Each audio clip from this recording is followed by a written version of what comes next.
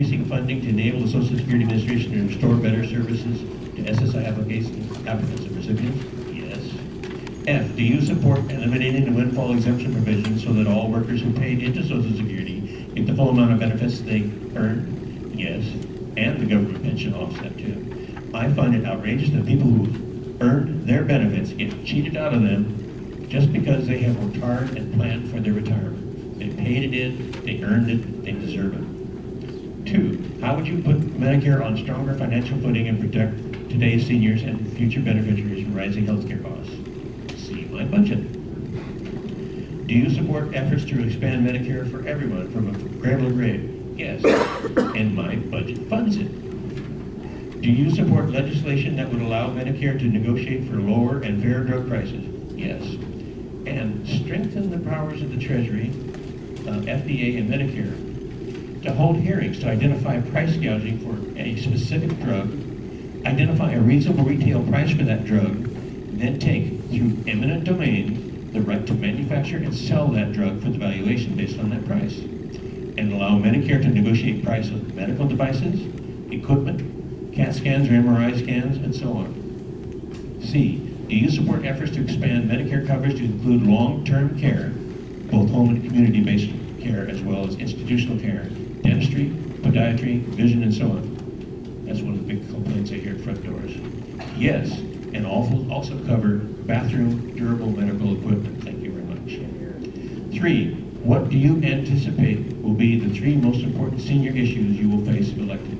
And what actions do you propose to take to address them? One, getting anything done, which will require intense cooperation and trade sponsorship of bills and votes.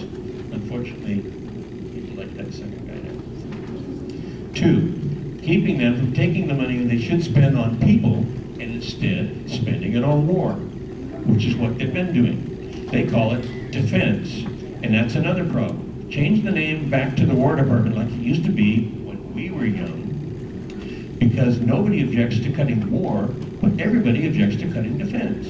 And we already have a Defense Department, it's called Homeland Security. It should be an easy choice, spend it on our own people or spend it on war. And their choice of war has been morally outrageous. Number three, Trump. I hope to be able to vote for impeachment.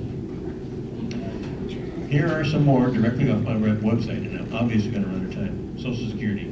Increase, that is to say, scrap the limits on the amount retirees can earn without adversely affecting their Social Security.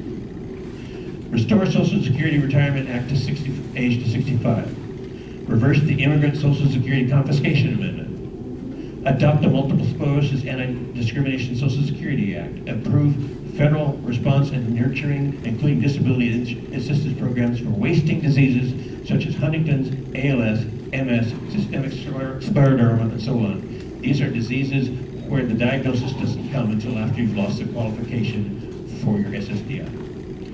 Support H.R. 3118, Senate 567, Linda Sanchez and Tom Harkin, strengthening the Social Security Act of 2013. On specific bills, I have to go look them up each time for discussion, because so I keep this long list to help me do that.